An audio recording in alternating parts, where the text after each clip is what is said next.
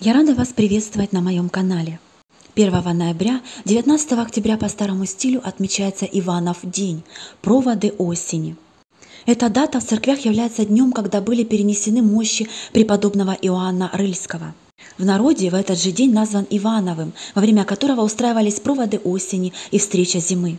С Иванова дня начинались сильные морозы, а это означало, что осень перестала царствовать над природой и пришла ей на смену зима. Чтобы не обидеть эти две пары года, устраивались достойные проводы первой и встреча второй. У входной двери обильно раскидывали листья, а сверху клали домотканную дорожку, по которой должна была зайти в дом зимушка-зима. На проводы осени 1 ноября принято забивать кур и готовить из них различные блюда. Суп с лапшой, жареную птицу с картофелем, вареную, а также пареную и тушеную с грибами. Но коронным угощением был курник, пирог с курицей. У каждой хозяйки был свой рецепт, которым она не делилась со всеми, передавая только лишь своей дочери или невестке. 1 ноября еще называют конюховым днем, поскольку сегодня дворовые в конюшнях балуются, пугают лошадей, путают им гриву и сбрую. Мужики, зная, что большого вреда их коням не будет нанесено, не мешали озорняку. Они уходили в дом, сидели за накрытыми столами, пили брашку и пиво, а также травили байки, делились страшными историями. Проводились даже своеобразные соревнования, кто веселее или страшнее расскажет, после которых наказывали проигравшего. По народным приметам считалось, что если 1 ноября сороки будут сильно шуметь, то могут разозлить дворового. А недовольный он мог не просто шалить с лошадьми, но и нанести вред им особым образом. Поэтому сорокам сегодня кидали корма вдоволь, чтобы они наелись и никого не беспокоили. Однако сороки неугомонные, поэтому на всякий случай читали специальные заговоры на лошадей. С древних времен и до наших дней дошла примета, что нельзя в Иванов день 1 ноября заставлять лошадей работать. Дело в том, что издавна 1 ноября даже называли конюховым днем, когда дворовой дух дразнит лошадей, пугает их, дергает за гриву кобыл и на дыбы поднимает жеребцов. Поэтому в Иванов день не рекомендуется нагружать лошадей тяжелой работой. Их нужно досыта накормить, расчесать и почистить. Тогда они холода переживут в добром здравии и полной сил. Нельзя в этот день вечером работать. Считается, что нужно собраться всей семьей и поесть блюдо из курицы. Главное, чтобы на столе был суп-лапша со свежей курятиной.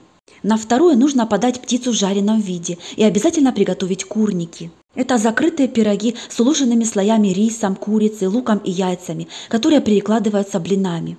После сытного ужина в Иванов день принято рассказывать страшные истории. Делается это для того, чтобы порадовать домового, который очень любит такие рассказы. 1 ноября нельзя гнать прилетевшую на крышу сову. Тот, кто ослушается запрета, привлечет в свой дом горе или даже смерть. Пусть птица посидит, а после улетит, забрав с собой все горести и печали. Нельзя в Иванов день оставлять на ночь на улице сушиться нательное белье.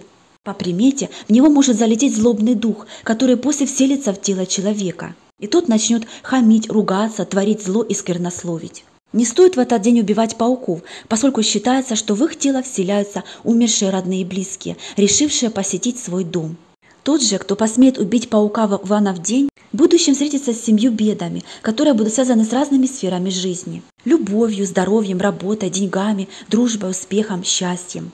Ни в коем случае 1 ноября нельзя оборачиваться на звуки шагов за спиной.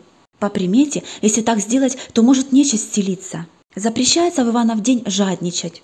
Особенно это касается птиц. Каждой птичке, прилетевшей во двор 1 ноября, надо насыпать зерен. И чем больше птичек будет накормлено в этот день, тем больше счастья и удачи будет ждать человека в будущем. 1 ноября – это начало настоящих морозов, поэтому и говорили, что тот, кто сегодня не замерзнет, не застудится и в стужу крещенскую. Если снег пошел и похолодало в Иванов день, примета, что весна будет поздней и сырой. Оттепель сегодня сулила теплую весну. Если птицы низко летают, примета, что нужно ждать снегопада. Грязь в этот день, значит зима вступит в свои права лишь через месяц. Урожайный год на хлеб предсказывает снег, выпавший в Иванов день на мерзлую землю. Иней 1 ноября на кустах и деревьях к морозу, туманы к оттепели. Зимы не ждали, если к Иванову дню вишня еще в листьях стоит. Листопад обильный, примета, что суровая зима будет. Мокрую зиму обещает дождь 1 ноября. По приметам, длинная зима ожидается, если в этот день 1 ноября тепло. Желтые листья не опадают к этому дню, примета длительной теплой осени. Гром во время проводов осени к урожайному лету. Считается, что тот, кто родился 1 ноября, счастливым будет, фортуна всегда на его стороне. Но при условии, если голову на плечах сохранит. Любят эти люди азартные игры. Это их беда и зачастую причина нищеты. Что же категорически нельзя делать в праздник святого Иоанна? Нельзя в этот день жадничать. Отец Иоанн прославился своей щедростью и великодушием, поэтому пожадничать в этот день значит осквернить память святого. Нельзя ссориться со своим любимым человеком, детьми и другими близкими. Важно, чтобы каждый из нас начал ценить любовь, отношения и взаимопонимание.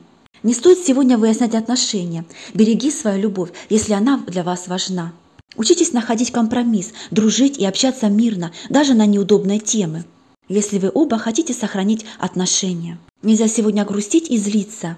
Это не тот день, который можно потратить на негативные эмоции. Наоборот, надо излучать свет, радость и делиться этим с окружающими людьми. Считается, что в этот день нужно ходить в гости и приглашать близких в гости к себе. Так ты призовешь удачу и благополучие на целый год. Я желаю вам счастья, здоровья и благополучия. Ставьте лайк и жмите на колокольчик, чтобы не пропустить новое видео.